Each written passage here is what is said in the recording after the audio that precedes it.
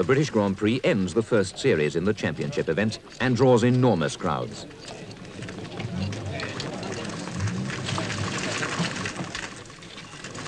Clark and Hill are in pole position again on the grid, with Brabham and a further 18 cars lined up behind.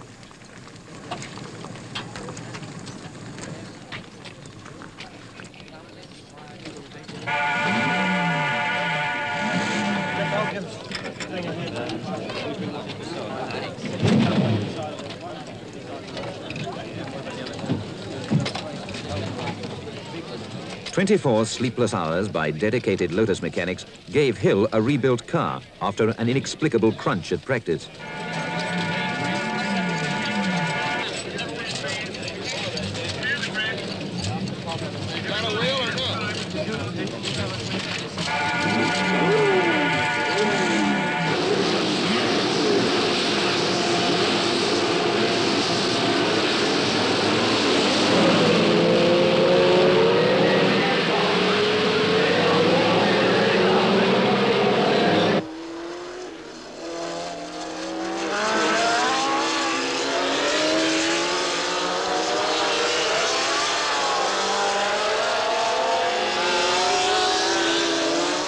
From the start, Hill piles into the lead, but is almost immediately taken by Clark.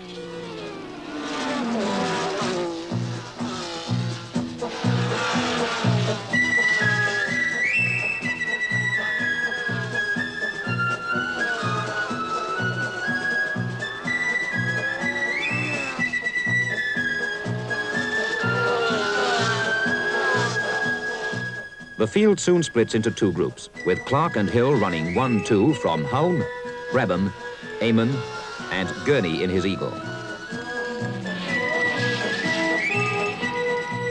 It's a real racegoer's day, with fine weather for 130,000 spectators. Denny Hulme in the number two Brabham shows a clean line, trailing the leaders Clark and Hill through Stowe avoiding the oil thrown out by the unfortunate Jochen Rindt, who retires, his new 36-valve Cooper Maserati emitting strange noises early in the race. Hill suddenly grabs the lead and laps Surtees in the Honda to the restrained delight of the Lotus pit. The moment of triumph is short-lived, for he sheds a bolt at Stowe and comes wobbling into the pit with a distinctly modified suspension.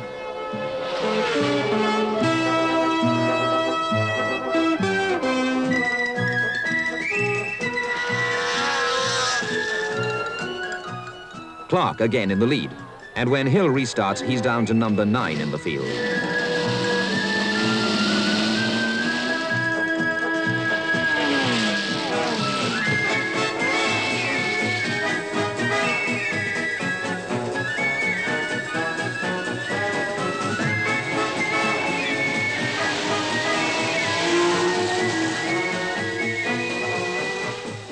Hill shoots off at a cracking pace to retrieve valuable seconds, but the lapboard tells the story.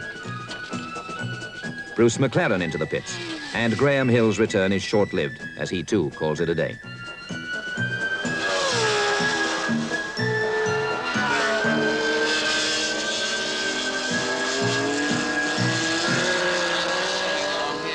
pits, there was a rather nasty noise just behind my left ear, and uh, I.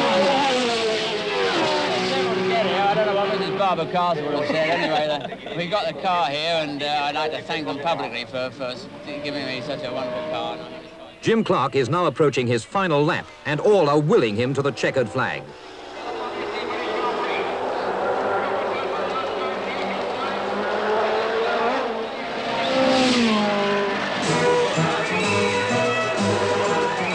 This is the moment shared by thousands and relished by the Ford and Lotus camp. The intoxication of a popular win.